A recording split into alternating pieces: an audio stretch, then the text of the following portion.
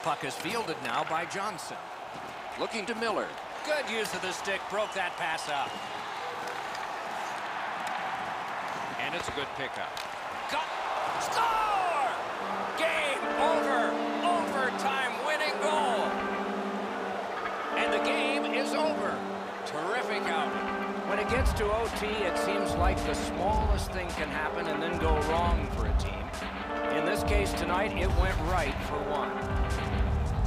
Extra plays that make all the difference.